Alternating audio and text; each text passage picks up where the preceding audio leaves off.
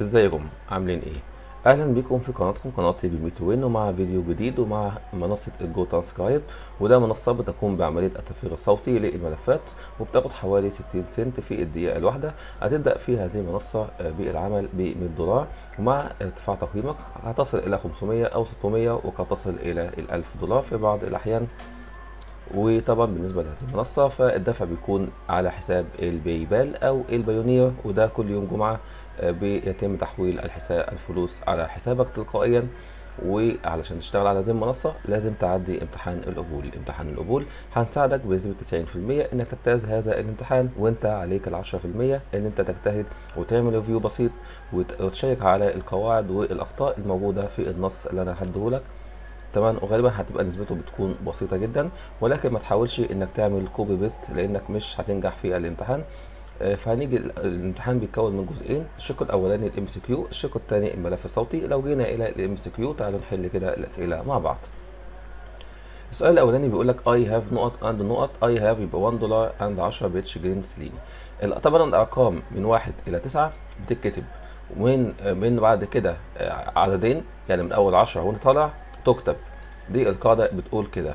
أو إما تكتبها 1 دولار يا إما تكتبها 1 دولار و10 جنيه استرليني بهذا الشكل يا إما تكتبها 1 دي هتتكتب 1 ولكن الارقامين هتتكتب زي ما هي هتبقى ال10 يبقى ال10 British pound وال1 US US United State dollar فتبقى الإجابة هي ال A وال D هي الإجابة الصحيحة. نيجي للسؤال الثاني بيقول لك اسمها Vilnius dot has around كذا permanent inhabitants اعداد مختلفة جدا عندهم 7300 723 ألف عادة مختلفة. أو عادة ثابتة بتبقى في البلد دي. طب the capital هي عاصمة لوتينيا البلد دي هي عاصمة لوتينيا. فطبعا آه Vilnius طبعا نحط آه comma وبعد كده the capital of Lithuania. فبعد كده أحط comma لأن في جملة تانية بعد كده. و has around 723 ألف permanent inhabitants اللي هي عادات بتكون ثابتة. فالإجابة هتبقى ال B هاو تو نوت ساينك بوز ان ذا بس لو في توقف في الفيديو يا باشا هتكتبها هتعمل إيه تكتب كلمة بوست بكابيتال وطبعا في داخل الأقواس الزمنية وافتح الأقواس الزمنية. فتبقى الإجابة هي الدي بعد كده السؤال الرابع بيقول لك اي نقط ا جود ستودنت هتبقى اي ام ا جود ستودنت انت تلميذ جيد. السؤال الخامس بيقول لك اف ذير از ا نيم أو سير يو كانت ميك اوت due to speaker manner of speech what are what are you supposed to do طبعا um, supposed to do هتعمل إيه؟ طبعا try try try فتبقى هي طبعا هي mark it unintelligible. لو حاجة مش واضحة في الكلام أو حاجة زي كده هتكتبها كلمة ان انتليجيبل وافتح الأقواس الزمنية بهذا الشكل ولازم تكون bold ولازم تكون الأقواس الزمنية بهذا الشكل. فالسؤال الخامس هتبقى الإجابة هي ال D بعد كده I feel terrible فظيع I feel really terrible أو absolutely terrible هتبقى الإجابة هي ال A وال B very لا. آه طبعا بعد كده if there is a sound of laughter made not by the speaker but uh, uh, but by other people uh, people should if at all it's included in the transcription for verbatim طبعا تبقى الإجابة هي ال A it should be be written a separately line and the format of كلمة laughter طبعا laughter ال format ما تبقاش bold بتبقى كده. وبالتالي كل ال bold ده بيكون مستبعد. وال laughter ده ما تبقاش capital وبالتالي capital ده هتبقى مستبعدة. وبالتالي إجابتك هي ال A طبعا لو واحد ضحك يعني معنى الكلام لو واحد ضحك مش من المتحدث فتتكتب في سطر بيكون منفصل.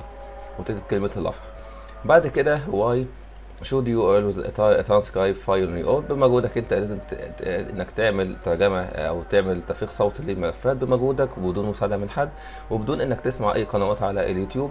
هو ده الصح للعمل في هذه المواقع إنك تعتمد على نفسك في كل شيء بنسبة 100% فطبعا إحنا بنعمله غلط يعني.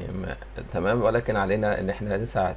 using artificial intelligent اللي هي ال AI is a breach of guidelines ادفيرتسمنت فور 100% هيومنز جينيريتد ترانسكربشن سيرفيس بيسايد ارتفيشال انتليجنت تو ونت تو هيلب يو ويز ذا اي ال ورك ايزا از تو ذا كواليتي اوف فيريتي اوف اكسنس يو ويل بي كومينج اكروس فهتبقى الاجابه هتبقى إيه؟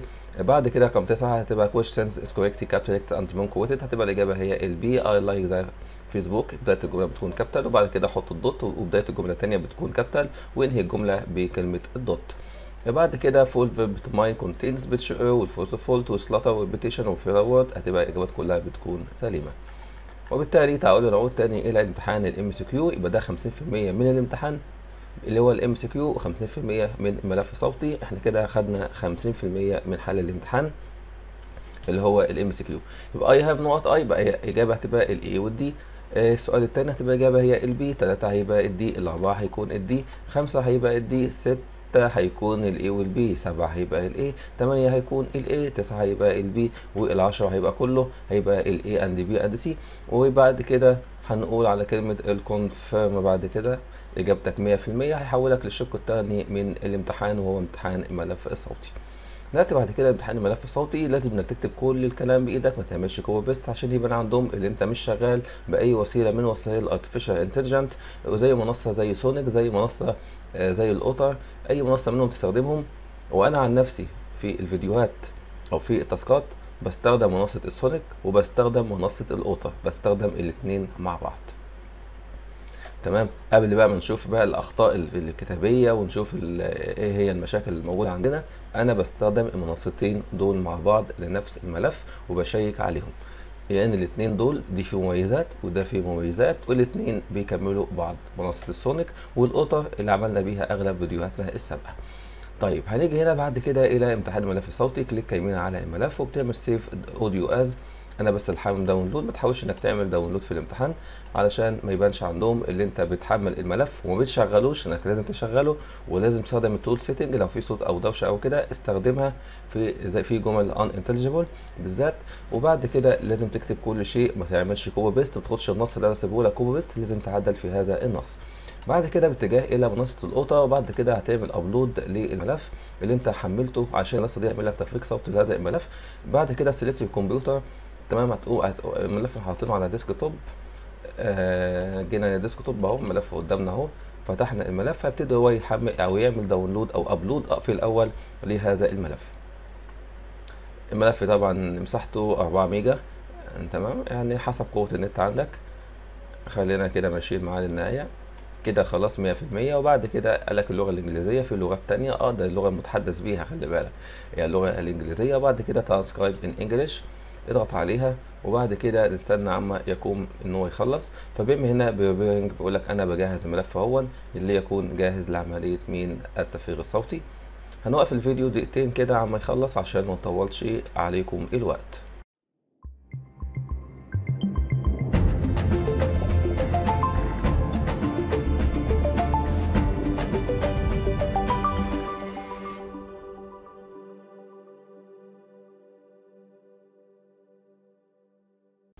عودة من جديد وكده خلص أهو عمل ترانسكرايب كده خلاص.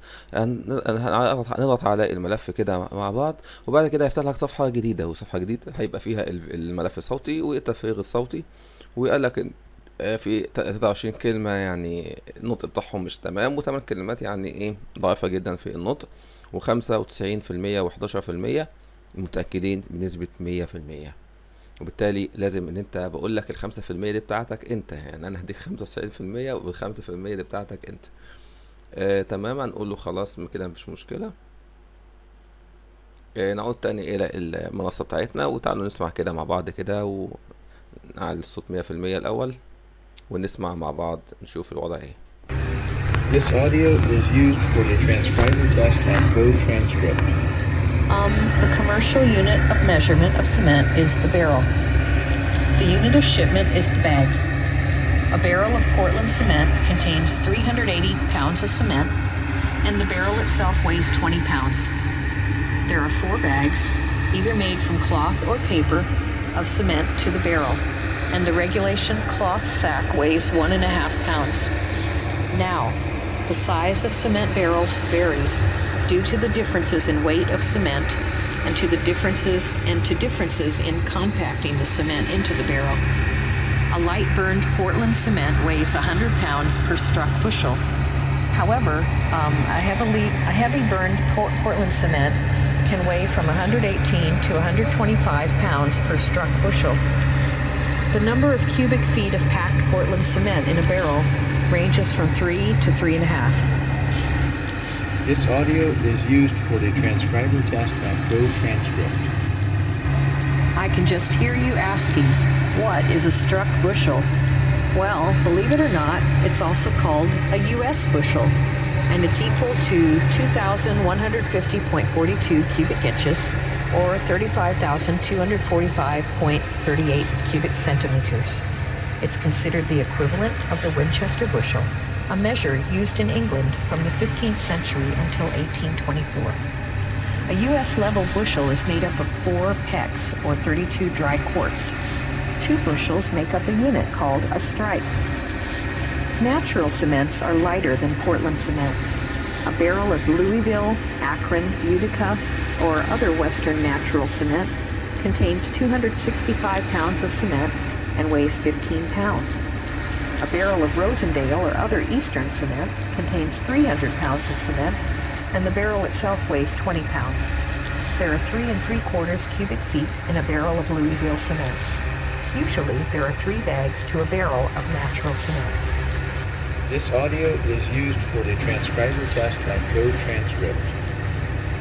A popular construction for automatic bucket hoists is that shown in the accompanying illustrations, but let me describe them for you in case you can't see them. The bucket is held upright by guides at its front and rear edges. To dump it out, a section of the front guide is removed at the desired dumping point, which allows the bucket to overturn as shown.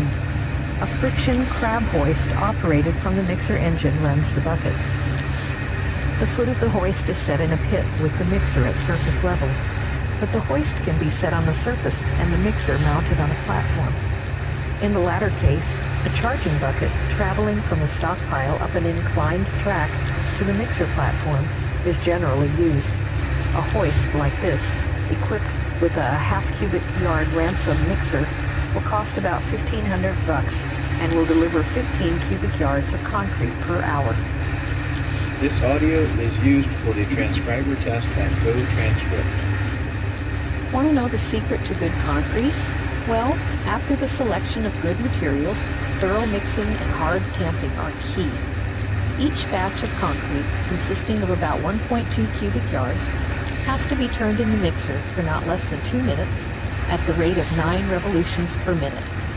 The amount of tamping is indicated by the fact that about 9 men out of 52 on each shift did nothing but tamp.